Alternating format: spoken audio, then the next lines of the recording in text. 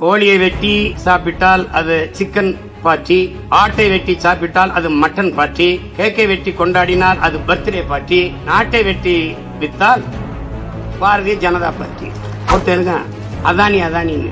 அவர் உலகத்திலே ரெண்டாவது பணக்காரர் ஆயிட்டு இருக்காரு மூணாவது பணக்காரர் ஆயிட்டு பிச்சைக்கார கடங்கார நாய் ரெண்டு லட்சத்தி ஐம்பதாயிரம் கோடி கடன் வாங்கி வச்சிருக்கான். அப்ப ஊறுகாய் வித்தாங்க மாமி இப்ப ஊற வித்துட்டு இருக்காங்க. எனக்கு ஒரு ஐயாயிரம் கோடி கொடுங்கம்மா. நானும் தொழிலில் முதலீடு செஞ்சு தோற்று போறேம்மா. அம்மா தயவு செய்து கொடுங்கம்மா. நீங்க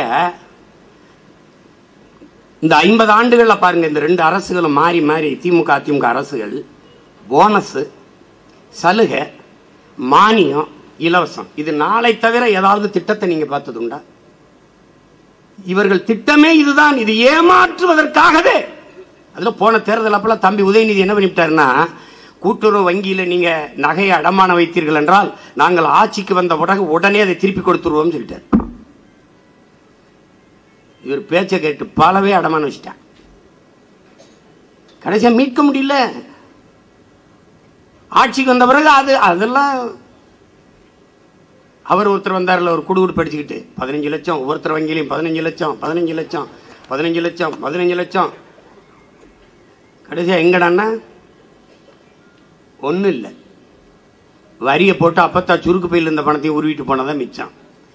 அதை அவர்கிட்ட கேட்குறாங்க நிதின் கட்காரிகிட்ட அமித்ஷாட்லாம் கேட்குறாங்க என்னங்க நீங்கள் பதினஞ்சு லட்சம் வங்கி கணக்கில் போடுறேன் நீங்களே அதெல்லாம் என்னங்க அப்படி விட்டுட்டீங்க அப்படின்னா அது ஒரு எலெக்ஷன் ஜூம்லா. சும்மா சொன்ன மக்கள் எங்களுக்கு ஓட்டு போட மாட்டான்னு சொல்லிவிட்டான். அவன் போட்டான். இப்போ அது எப்படி காசு கொடுக்க முடியும்? நமக்கு ஒரு நிதியமைச்சர் வந்து வாச்சிருக்காங்க பாருங்க. ஆமாம் அப்போ ஊறுகாய் வித்தாங்க மாமி. இப்போ ஊற விற்றுக்கிட்டு இருக்காங்க. அவன் ஒரு தம்பி ஒரு கருத்து படம் மாதிரி போட்டிருக்கான். கோழியை வெட்டி சாப்பிட்டால் அது சிக்கன் பார்ட்டி ஆட்டை வெட்டி சாப்பிட்டால் அது மட்டன் பார்ட்டி கேக்கை வெட்டி கொண்டாடினால் அது பர்த்டே பார்ட்டி நாட்டை வெட்டி வித்தால் பாரதிய ஜனதா பார்ட்டி எப்படி? எப்படி இருக்கு பாருங்க. அது அம்மாட்ட கேட்குறாங்க என்னங்க இப்படி ஒன்பதினாயிரம் கோடி பதினோராயிரத்தி எழுநூறு கோடி இப்படி பல கோடிகளை வாழ்ந்து நீரோ மோடி லலித் மோடி இந்த விஜய் மேலெல்லாம் ஓடி போயிட்டாங்களா? அவங்கெல்லாம் ஏமாற்றுக்காரர்கள்னு ஒருத்தர் சொல்றாரு. இப்படி ஏமாற்று ஏமாற்றுக்காரர்கள்னு சொல்லாதீங்க. தொழில் முதலீடு செய்து தோற்று போனவர்கள். தொழிலில் முதலீடு செய்து தோற்று போன உடனே நான் அம்மா அம்மா எனக்கு ஒரு ஐயாயிரம் கோடி கொடுங்கம்மா. நானும் தொழிலில் முதலீடு செஞ்சு தோற்று போறேம்மா அம்மா. தயவு செய்து கொடுங்கம்மா. எப்படி? ஒருத்தருங்க அதானி அதானின்னு. அவர் உலகத்திலே ரெண்டாவது பணக்காரர் ஆயிட்டு இருக்காரு மூணாவது பணக்காரர் ஆயிட்டு பிச்சைக்கார கடங்கார நாய் ரெண்டு லட்சத்தி ஐம்பதாயிரம் கோடி கடன் வாங்கி வச்சிருக்கான். ரெண்டு லட்சத்தி ஐம்பதனாயிரம் கோடி ஒரு மனிதனுக்கு கடன். இந்த நாடு கொடுத்துருக்கு. சொ- இந்த சொந்த நாட்டு மக்கள் உழைக்கும் மக்கள் அடித்தட்டு மக்களின் வரி இவங்கள மாறி ஒரு அயோக்கிய போய் ஏமாற்றுக்கான பார்த்திருக்க நீ? வாழ முடியாது உன்னால். சிலிண்டர் விலை ஆயிரத்தி நூத்தி ஐம்பது ரூபாய்க்கிட்ட போயிடுச்சு. சுங்கச்சாவடி எரிபொருள் பெட்ரோல் டீசல் விலை உயர்வு. நல்லா கவனிச்சுக்க. பெட்ரோல் டீசல் விலை உயர்வுகளால் என்னென்ன பிரச்சனை? அத்தியாவசிய பொருளான அரிசி பருப்பு காய்கறி எண்ணெய் முட்டை பால் இதன் விலை ஏறும். எப்படி? இடப்பெயர்வு பார உந்துகள் லாரி. அதை ஒரு இடத்துல இன்னொரு இடத்துக்கு தூக்கி சுமக்கணும் கொண்டு போய் சேர்க்கணும். சேர்க்கும் போது அந்த டீசல் விலை உயர்வு பெட்ரோல் விலை உயர்வு அதுல அடங்கும். அது போக சுங்க கட்டணம் அது போக லாரி வாடகை. இதுவெல்லாம் உள்ளே இருக்கிற அரிசி பருப்பு தக்காளி சுரக்காய் பூசணிக்காய் வெண்டைக்காய் முருங்கைக்காய் கீரை ஏறிடுது. எவ்வளவு பிரச்சனை இருக்கு பாரு. அதை விட்டு வீட்டுக்கு வந்தா சிலிண்டர் இல்ல. அதை விட்டு வந்தா மின் கட் மின்சார கட்டணம். அதுக்கு மேலனா சொத்து வரி. சொத்து வரி எப்படி? எனக்கு பதினாலாயிரம் சம்பளம்னு வச்சுக்க. பதினாலாயிரம். அப்ப ஏழாயிரம் வாடகை இருந்தது. இப்ப பத்தாயிரம் ஆயிரம் ஏன்? அந்த வீட்டு உரிமையாளன் சொத்து வரி கட்டணும்னா என் வாடகை தான் கூட்டுவான். அவன் கையில இருந்து கட்ட மாட்டான். எப்படி இருக்கு? இதான் விடியல் ஆட்சி.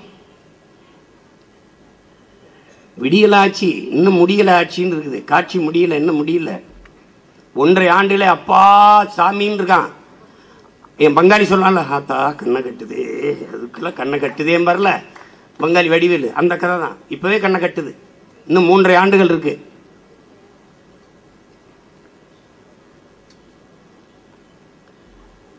கொடுமை. அது இலவசம் என்பது என்னன்னு முதல்ல நம்ம மக்கள் புரிஞ்சுக்கணும். இது நம்ம ஊர்ல இங்க பாருங்க கப்பல்ல பொண்ணு வருது கப்பல்ல பொண்ணு வருதுன்னு இருக்காங்க ஒரு பையன் ஓடியாந்து எனக்கு ஒன்று எங்க அப்பாவுக்கு ஒன்று இருக்கான் இல்லைடா ஓசி இல்லைடா காசுக்குடா அப்படின்னு அப்போ வேணாம் நான் சின்ன பையன் எங்க அப்பா வயசானவர் இருக்கான் ஓசினா எது ஒன்றையும் இலவசம்னா வாங்கிடும் எது ஒன்றும் இந்த இந்த இந்த இனத்தின் நிலைமையை பாருங்க. இவனுடைய பண்டிகை ஒன்றே ஒன்றுதாங்க பொங்கல். காலங்காலமா உழைச்சு ஒரு அறுவடை திருநாள் பொங்கலை கொண்டாடுறதுக்கு அவனுக்கு அரிசி இல்லைங்க. அவனுக்கு சக்கரை இல்லை பாருங்க. காலங்காலமா உழைக்கிறான். ஒரு ஆண்டு முழுமைக்கு உழைக்கிறான். அவனுடைய அவனுடைய பண்டிகை இனத்தின் பண்டிகை பொங்கலை கொண்டாட ஒரு கிலோ அரிசி இல்லை. அதை இலவசமா தர வேண்டிய நிலைமையில் இருக்கிறான்னா பாத்துக்க சீமா இப்படி கையேந்தனான்னு வச்சுக்கோங்களேன் இப்படி. பிச்சைக்கார பையன் சீமான். நான் கையேந்தினால் பிச்சை நாம் எல்லோரும் சேர்ந்து கையேந்தினால் அது இலவசம். எவ்வளவு பெரிய தன்மான இழப்பு. என்ன கேட்டிருக்கணும் நம்ம மக்கள்? எனக்கு அறிவை கொடுக்கிற கல்வியை கொடு. உயிரை காக்கிற மருத்துவத்தை தரமா கொடு. அதான் கேட்டிருக்கணும். அதை விட்டு இந்த இலவசத்துக்கு ஏமாந்து கையை நீட்டிய உறவு அது அவசியம் இல்லாமல் போச்சு. எது? கல்வியை தரப்படுத்த வேண்டிய தேவையும் இல்லை. மருத்துவத்தை தரப்படுத்த வேண்டிய தேவையும் ஏற்படாம போயிடுச்சு. இங்க தனி முதலாளிகளின் மிகப்பெரிய வியாபார பொருளாக மருத்துவமும் கல்வியும் குடிநீரும் மாறி நிக்குது. மடிக்கணினியை இலவசமா கொடுத்த அம்மா ஜெயலலிதா சைக்கிளை இலவசமா கொடுத்தாங்க மிக்சி கிரைண்டரை இலவசமா கொடுத்தாங்க ஆனால் தண்ணீரை ஒரு லிட்டர் பத்து ரூபாய்க்கு வித்தாங்க. ஏன்? இது எல்லாவற்றையும் இலவசமாக கொடுக்க முடிந்த அரசால் தண்ணீரை கொடுக்க முடியல. ஏன்? தண்ணீரை இலவசமா அரசு கொடுத்துருச்சுன்னா தண்ணீரை விக்கிற கின்லே அப்பலோ இந்த இந்த கண்ட கண்ட கர்மாந்திரம்லாம் இருக்குல்ல இந்த நிறுவனங்கள் பாதிக்கப்படும். அதன் விற்பனை பாதிக்கப்பட்டுரும். அவன் விற்பனை பாதிக்கப்பட்டால் அரசுக்கு என்ன? அவனிடமிருந்து வருகிற கமிஷன் நின்று போயிடும் அதனாலதான் உங்களுக்கு என்ன வைக்கிறோம் நம்ம? கமிஷன் வாங்குற புரோக்கர்ஸ்